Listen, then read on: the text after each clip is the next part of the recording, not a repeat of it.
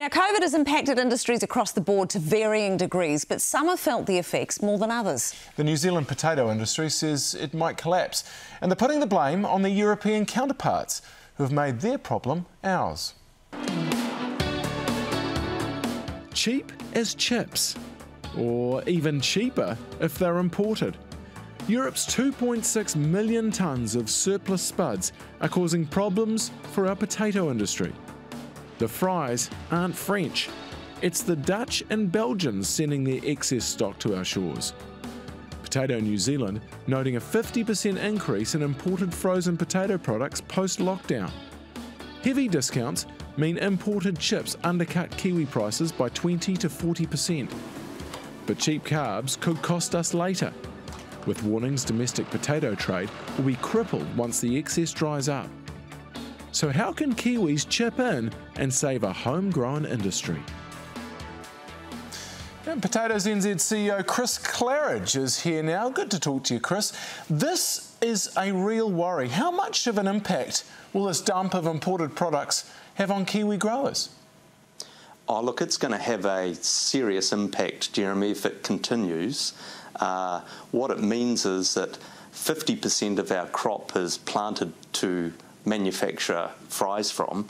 And effectively, if we don't have uh, processes in New Zealand that are able to operate and produce locally grown frozen fries, uh, then we don't have growers. So effectively, growers could leave, lose half of their crop.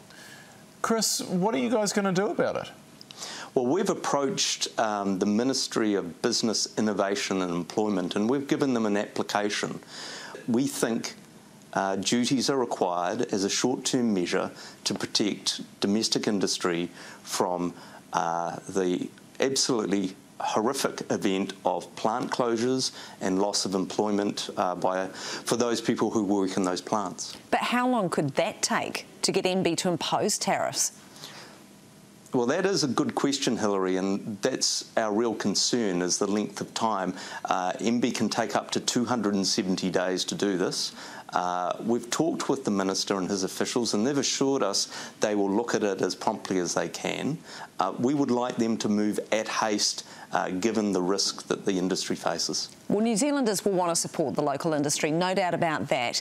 How can they help? Oh, look, um, we really need uh, consumers to ask questions. Look on labels of uh, frozen fries in supermarkets, check the country of origin. If you can't see the country of origin, buy a pack that clearly states on the front that it was grown and manufactured here in New Zealand. As well, when you're out and about, if you're in the pub or you're at your local fish and chip shop, ask where did these fries come from? Where did you get them from? And you will always generally find waiters and fish and chip operators keen to give you an answer because they're enthusiastic and passionate about their product. Thanks, Chris. We all love New Zealand potatoes. We want to keep eating them. All the best for the future. Bye. Bye. Oh, yes, we certainly do love those New Zealand potatoes. I'm a particular fan of the Agria. Love the Agria. I love the Agria too. The Agria? Oh, that's how I say. I don't know that it's right. What about the Nadine? Do you like the Nadine? No, I just stick with the Agria. The Jersey Benny? Oh, actually, no, I do like a Jersey Benny. Those are my two. Red Rascal? Because the Desiree is a delicious one, isn't it? It's delicious. It can be a little waxy, much like the Laura and the Annabelle. Both for Why me, do they all have women's names? You never hear about a Steve potato. No. Or a Clive. No, there's no Clive. Yeah, just women's No. names. No, the Agria all the way for me. Um, in other vegetable-related news, hot off the press, zucchinis have hit a record high of $21 a kilo. Why, you ask? Why?